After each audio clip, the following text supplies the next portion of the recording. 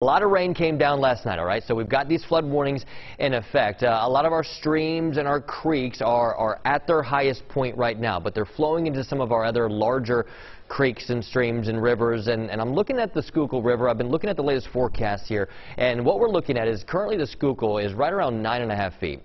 The forecast crest around 1 o'clock is 11.9 feet. So what we're looking at is when we start to get water levels in the Schuylkill up to around 10.4 feet, so just about 10 and a half feet, that's when Kelly Drive will begin to flood. It, once we get up to around 11 and a half feet, which is just shy of the crest, that's when MLK Drive will begin to flood. So we think we could start to see some flooding there along the Schuylkill there, specifically Kelly Drive potentially mid to late morning. Something that we're going to monitor. We'll keep an eye on. We'll keep you posted. But just know, as you go out, it's not just the Schuylkill, but everywhere has water on the roadways. We do have a flood watch remaining in effect for most of the region, except for down the shore into South Jersey. That flood watch remains in effect until 7 o'clock.